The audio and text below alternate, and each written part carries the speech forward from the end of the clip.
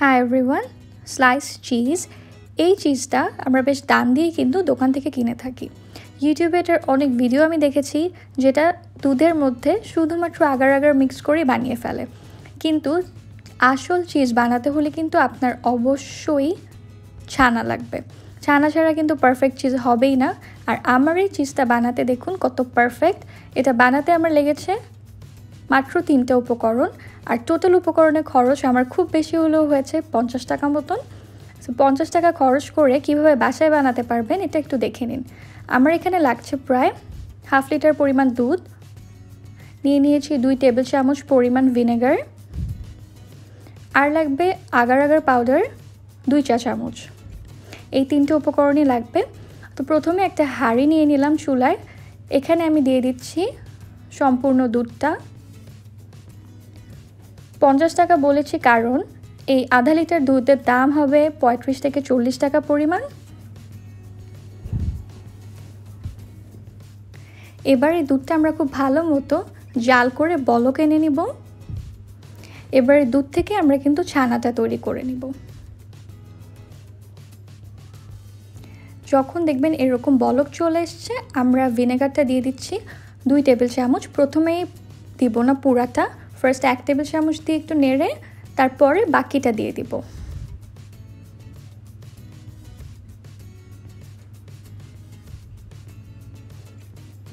দেখবেন আস্তে আস্তে দুধ থেকে পানি ছেড়ে দিবে এবং ছানাটা আলাদা হয়ে যাবে।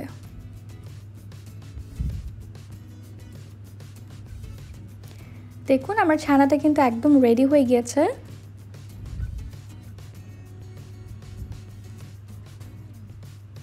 দেখছেন পানিটা সম্পূর্ণ আলাদা এবং দুধের ছানাটাও তৈরি হয়ে গিয়েছে। এবার আমরা এটা কিন্তু ছেঁকে নিব।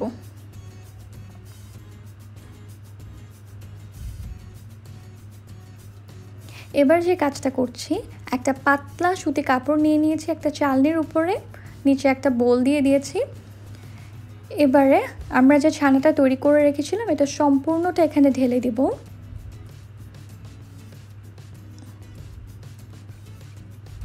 এটা আমরা ছেঁকে নিব।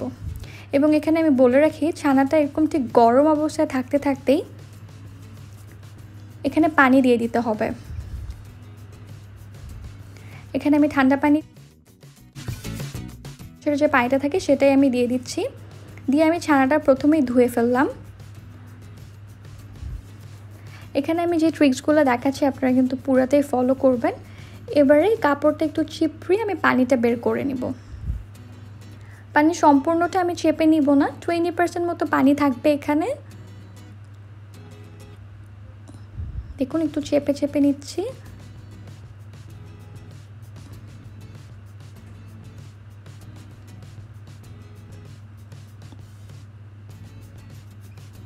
আমার কিন্তু এই পানিটা বের হয়ে গিয়েছে। অল্প একটু পানি আছে এখানে। এবারে এটা আমরা ব্লেন্ড করে নিব। সো ফার্স্টেই ব্লেন্ডারে দিয়ে দিলাম ছানাটা। তো ছানাটা কিন্তু এরকম শুকনো অবস্থায় ব্লেন্ড করতে একটু প্রবলেম হতে পারে। দেখবেন ব্লেন্ডার আটকিয়ে যাবে, যার কারণে এখানে দুই থেকে তিন টেবিল চামচ পরিমাণে দুধ দিয়ে একটা স্মুথ পেস্ট আমরা তৈরি করে নিব।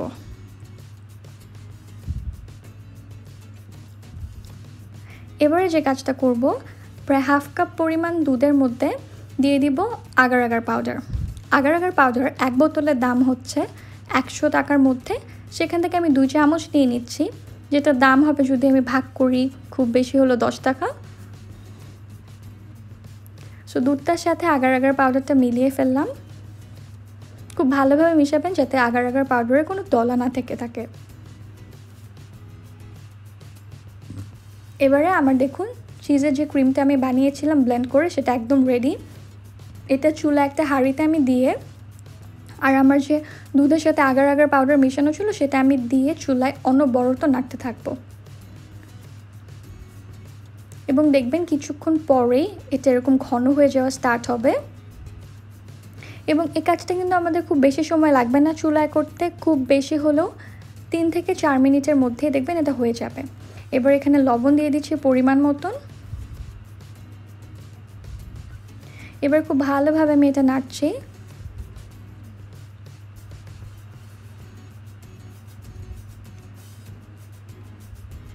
এটা কিন্তু ঘন হওয়া স্টার্ট হয়েছে।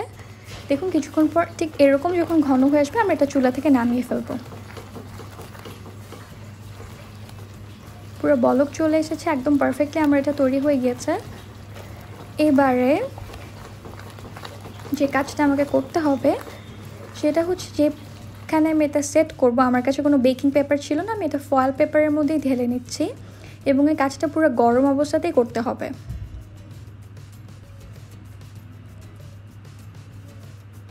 ফয়েল পেপারের মধ্যে আমি গরম চিজ পুরাটা ঢেলে নিলাম। আচ্ছা এখানে কিন্তু আমি ফয়েল পেপারটার উপরে একটু তেল ব্রাশ করে নিয়েছিলাম যাতে এটা আমাদের উঠাতে খুব ভালো সুবিধা হয়। এবারে স্প্যাচুলাটার সাহায্যে এরকম টেনে টেনে আমরা একটা শেপ করে নিচ্ছি।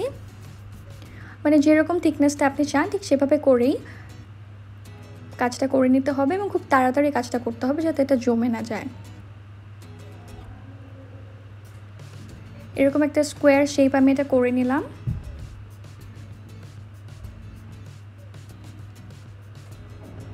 সব দিক থেকে বিছিয়ে কাজটা করছি। আপনারা দেখেই বুঝতে পারছেন।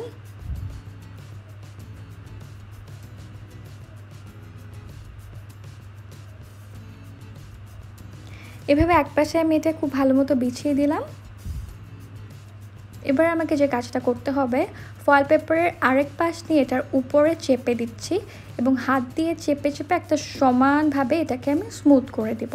আপনারা চাইলে এটা কোনো স্মুথ চামচের তলানির সাহায্য করতে পারেন। সো আমি এটা হাত দিয়ে চেপে চেপে করে নিলাম।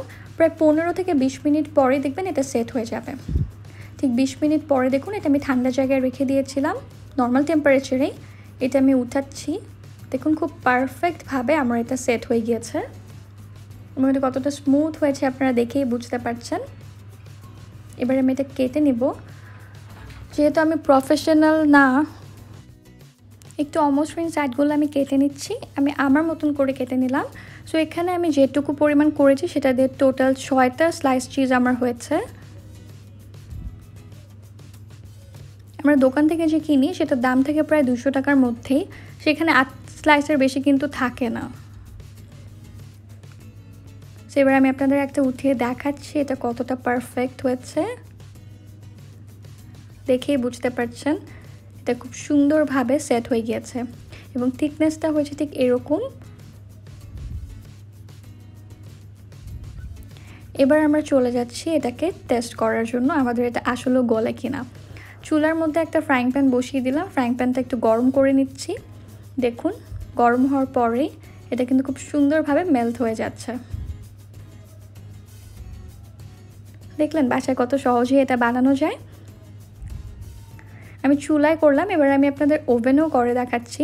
দুই স্লাইস পাউরুটির মাঝখানে একটু চিজ দিয়ে দিলাম এবং ওভেনে তিরিশ সেকেন্ডের জন্য এটা আমরা একটু গরম করে নিব। দেখুন ঠিক তিরিশ সেকেন্ড পরে এটা কত সুন্দর মেল্ট হয়েছে। পুরাটা সুন্দরভাবে কিন্তু হয়ে গিয়েছে। সো বাসায় দেখলেন কত মাত্র তিনটে উপকরণ দিয়ে পারফেক্ট স্লাইস চিজ বানানো যায়। আজকের রেসিপি নিশ্চয়ই আপনাদের কাছে ভালো লেগেছে। ভালো লাগলে অবশ্যই আমার চ্যানেলটি সাবস্ক্রাইব করেই আমার সাথে থাকবেন এবং পাশে বেল আইকনটাতে ক্লিক করে রাখবেন পরবর্তী সব রেসিপির আপডেট পাওয়ার জন্য। সবাই ভালো থাকবেন, আমার জন্য দোয়া করবেন। Thank you so much